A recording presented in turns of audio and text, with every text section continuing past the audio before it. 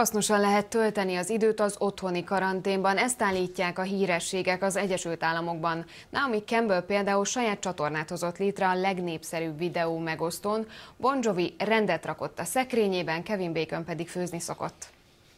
Um, get up, pray, és imádkozik, így kezdi a napját Naomi Campbell. A szupermodell internetes sorozatot indított annak érdekében, hogy hasznosan be tudja osztani az idejét a karanténban. Housework, cleaning, Házi munkát végzek, takarítok, főzök, gondozom az otthonomat, amelyet meg is kell ismernem. Korábban ugyanis olyan volt a számomra, mint egy hotel, mert soha nem voltam itthon, mondta a brit modell New Yorki otthonában. Próbál elbújni a felesége és négy gyereke elől John Bon Jovi, legalábbis ezt mondta az ismert énekes.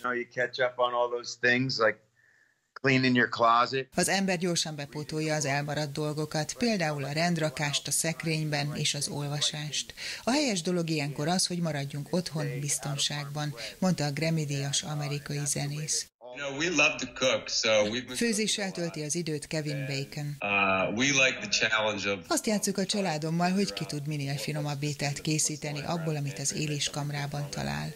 Emellett sokat zenélünk, sok hangszerünk van, mondta a Golden Globe díjas színész kaliforniai házában.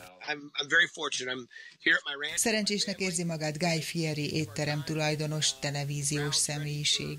Jól kihasználjuk az időt, felé nagyon forró nyarak vannak, könnyen felgyulladhat a növényzet, ezért a bozótot írtjuk, ezzel töltjük az időnket, mondta az Emmy díjas celeb, szintén Kaliforniában.